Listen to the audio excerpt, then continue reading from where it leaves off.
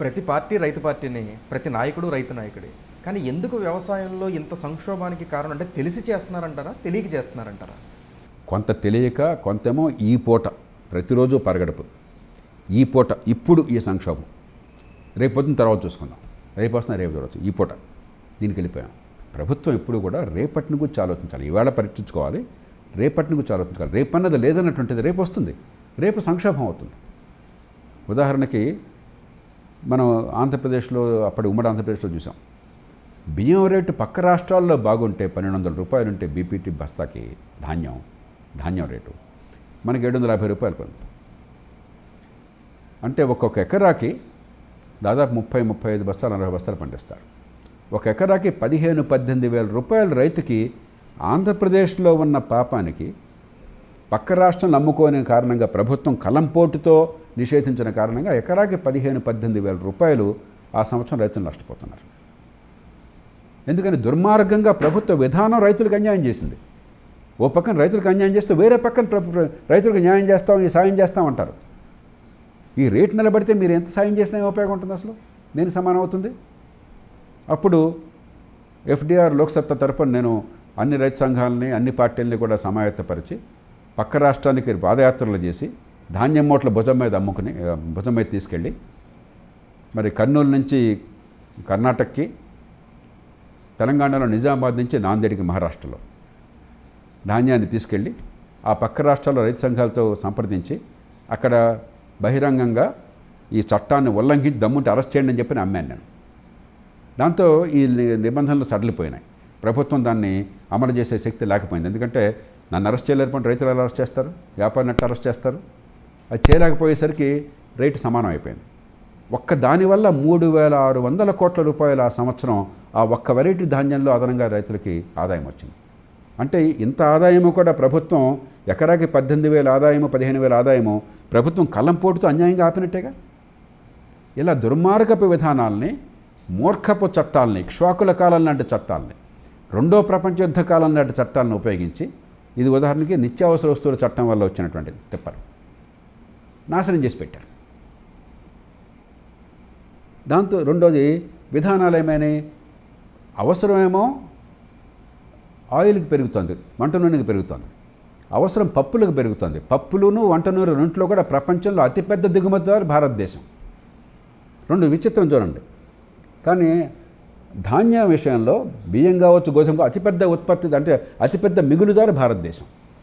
తినకుండా మిగిలిపోతుంది ఈ పంటలో. తినడానికి చాలక దిగుమతి చేసుకుని లక్షల కోట్లు ఇతర దేశాలకు ఇస్తున్నాం ఈ పంటల్లో. ప్రభుత్వం ఏం చేయాలి? విధానాలు ఎట్లా ఉండాలి? మనం అదనంగా అవసరం లేకుండా ఉత్పత్తి చేసే పంటల నుంచి అవసరం ఉండే పంటలకు ఎట్లా పంపించాలి రైతుల్ని? పంపించాలంటే బలవంతంగా హుకుం జారీ చేయడం కాదు. రేట్ ఇవ్వండి. అక్కడ రేట్ ఇవ్వండి. ఇక్కడ అదనంగా రేటు ఇవ్వబోకండి ఎక్కువగా. దాంతో ఏమవుతుంది? క్రమక్రమంగా రైతులు ఇక్కడ రేటు ఉంది ఈ పంటలు వేస్తే ఎప్పటికైనా భవిష్యత్తు బాగుంటుందని దానికి వెళ్తారు. ఇందాక చెప్పాను మీకు ఏ రకంగా దుర్మార్గంగా చేశారు? అది చేయల సకాలంలో.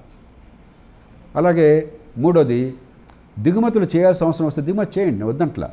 ఆహారం కొరత దిగుమతి వద్దంట్లా. కానీ ఇంత ఆర్భాటం లేకుండా ఇంత గొడవ లేకుండా ఇంత హైరాణపడే అవసరం లేకుండా వెంటనే సుంకాలు వేయండి రైతులను రక్షించండి. అవసరం తీర్చండి. కొరత తీర్చండి కానీ రైతుల్ని కాపాడండి. నాలుగోది టెక్నాలజీ ఇవ్వండి రైతులకి. వ్యవసాయ విశ్వవిద్యాలయాలు పూర్తిగా పూర్వం అద్భుతంగా ఉండి ఇప్పుడు చాలా మేర ఖాయిలా పడిపోయినాయి. వాటికి వనరులు లేవు సమర్థన వాళ్ళని తీసుకురావటం లేదు. చివరికి ఏమన్నా ఇప్పుడు కాటన్ ఉంది జిఎం సీడ్ కావాల్సి వచ్చింది ప్రైవేట్ కంపెనీ ఆధారపడాల్సి వచ్చింది. ఎందుకని? ప్రభుత్వ రంగంలో ప్రభుత్వ ప- పరిశోధన సంస్థలు పూర్తిగా విఫలమైపోయినాయి. ఆ తర్వాత ప్రైవేట్ కంపెనీల మీద మనం దండెత్తే ఉపయోగమే ఉంది ఏదో ఒకటి అందాలి కదా అమ్మ పెట్ట పెడితే అడుగుతున్నాను అవ్వదు కాబట్టి ప్రభుత్వం దీర్ఘకాలంతో పరిశోధనలు పెంచడం ఎట్లాగా? టెక్నాలజీ అందించడం ఎట్లాగా? ఈ ఏర్పాట్లు చేయండి. మరి పంట పండించాక రేటు నిలబడాలని చెప్పంటే పళ్ళు కూరగాయలు ఉదాహరణ ఉదాహరణకి మరి కుళ్ళిపోతాయి అవి. దానిలో గ్రేడింగ్ కావాలా? స్టోరేజ్ కావాలా? ప్రాసెసింగ్ కావాలా? విదేశీ మార్కెట్లో స్థానం కావాలా? విదేశీ మార్కెట్లో కనుక మన స్థానం పెంచుకున్నట్టయితే ఈ పళ్ళు కూరగాయలు ఇతర వస్తువులు చూస్తే ఇవాళ చేపల్లో ప్రపంచంలో నెంబర్ వన్ ఎగుమతిదారు భారతదేశం. చేపల్లో. నెంబర్ వన్ ప్రపంచంలో భారతదేశం. ఒకప్పుడు చేపల ఉత్పత్తి మనకు పెద్దగా ఉండేది కాదు. కేవలం ప్రధానంగా కోస్తా ఆంధ్ర రైతులు కొంతమేరకు ఇతర రాష్ట్రాల్లో కొంత రైతులు ప్రధానంగా అత్యధిక భాగం కోస్తా ఆంధ్ర రైతులు. ఒక ఇరవై ఐదేళ్ళు కష్టపడ్డారు నష్టపోయారు రిస్క్ తీసుకున్నారు. కానీ క్రమక్రమంగా రైతులు ఉత్పత్తి పెంచగలిగారు. దాని దాని స్టోరేజ్కి కానీ ప్రాసెసింగ్ కానీ యూనిట్లు వచ్చినాయి. ఎక్స్పోర్ట్ మార్కెట్లో ప్రవేశించగలిగారు. ఆ మార్కెట్ ఒడిదుడుకులు అర్థం చేసుకున్నారు. చాలామంది వ్యాపారులు వాళ్ళంతా ప్రపంచంలో ఇవాళ బ్రహ్మాండంగా అమ్మగలుగుతున్నారు. అలాగే బియ్యం ఎగుమతిలో ప్రపంచంలో నెంబర్ వన్ భారతదేశం. అత్యధికంగా తెలుగు రాష్ట్రాల నుంచి పెడుతుంది ఒకప్పుడు బియ్యం ఎగుమతి నిషేధించాం. కాబట్టి అంతర్జాతీయ మార్కెట్లు. తెలివిగా చేసినట్టయితే పళ్ళు కూరగాయలు ప్రాసెస్ ఫుడ్స్ దీనిలో వంద బిలియన్ డాలర్లు ఒక ఏడెనిమిది లక్షల కోట్ల అదనంగా మనం ఆదాయం ఆర్జించవచ్చు. దానికి వెళ్ళే ఏర్పాట్లు చేయండి. దానికోసం విధానాలు. రిటైల్ చైన్స్ తీసుకురావడం ప్రాసెసింగ్ యూనిట్స్ వచ్చేట్టు చేయడం కోల్డ్ స్టోరేజ్ చైన్స్ ప్రోత్సహించడం ఇంటిగ్రేట్ చేయడం ఈ మొత్తాన్ని. మనకి ఇవాళ కనీసం స్టోరేజ్ గోడౌన్స్ కూడా లేవు. పంట రేటు పడిపోతే కుళ్ళిపోని పంట మీకు పత్తి కావచ్చు లేకపోతే పసుపు కావచ్చు మిర్చి కావచ్చు మూడు ఉదాహరణలు. మన తెలుగు నాట బాగా పండుతాయి ఈ మూడు పంటలు కూడా. ఒకనాడు పడిపోతుంది రేటు. నేను ఇందాక చెప్పాను పత్తి. ఇప్పుడు పది పన్నెండు పదమూడు వేలు ఉంది. ఒకప్పుడు నాలుగు వేలు ఉండింది. అలాగే పసుపు ఒకసారి నాలుగు ఐదు వేలకు అవుతుంది పదహారు వేలకు పెరిగిపోతుంది. రైతు పదహారు వేలు ఉంటే గంతులు వేస్తున్నాడు ఐదు వేలప్పుడు ఆత్మహత్యలు చేసుకుంటున్నాడు. అలా ఉండాల్సిన అవసరం లేదు ఇవి కుళ్ళిపోయిన పంటలు.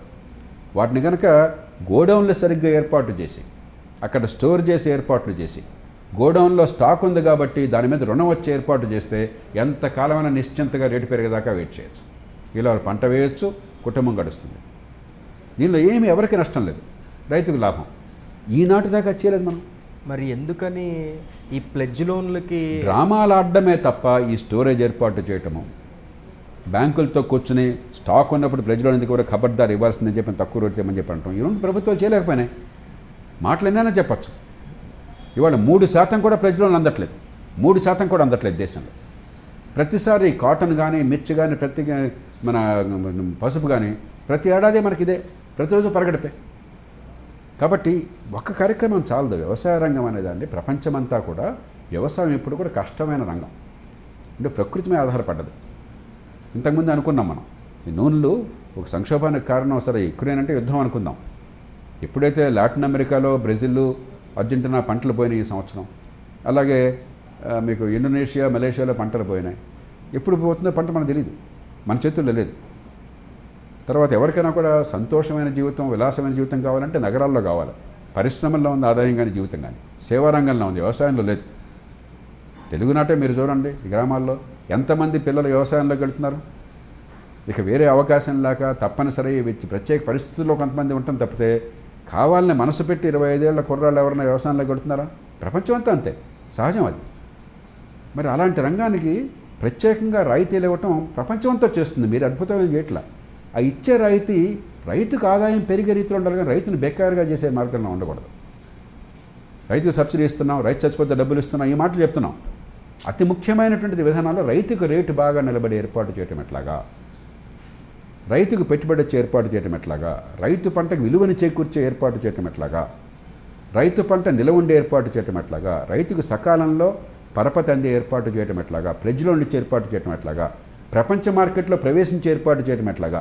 వీటి చుట్టూ వెళ్ళాలి తప్ప నీకు ఉచితంగా విద్యుత్ ఇచ్చాను ఇవ్వండి నేను వద్దంటలే. లేకపోతే ఉచితంగా మరొకటి ఇచ్చాను ఎరువుల సబ్సిడీ నిన్న నిన్న వ్యవసాయ జాతీయ స్థాయిలో మంత్రి గారు నిన్న క్యాబినెట్లో నిర్ణయం తీసుకున్నది మంచిదే. డిఏపి తగ్గించాము మరొకటి తగ్గించాము యూరియా ధరలు డిఏపి ధరలు ప్రపంచ మార్కెట్లో ధరలు మన ధరలు చెప్పారు సంతోషం. కానీ ఇంత ఇచ్చినా కూడా రైతుకు రేటు రాకపోతే ఉపయోగం ఉంది చివరికి ఒక వస్తువు ఉత్పత్తి చేసిన మనిషికి ఉత్పత్తి చేయడం కంటే మార్కెట్లో రేటు ఎక్కువ వస్తే లాభం. తక్కువ వస్తే నష్టం పస్తులు ఉండడం.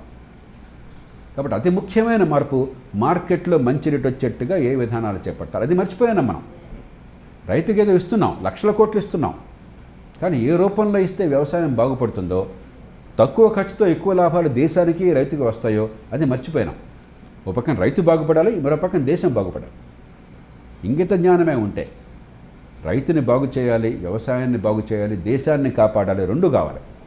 అన్న ఆలోచన ఉంటే పరిమితమైన ఖర్చుతో దీర్ఘకాలంలో వ్యవసాయాన్ని ఆదుకోవచ్చు దేశంలో ఉత్పత్తిని పెంచవచ్చు వినియోగదారుని ఆదుకోవచ్చు అది లేకుండా గుడ్డెద్దు చెవులో పడ్డట్టు ఎప్పటికేయేదు ప్రస్తుతంబు.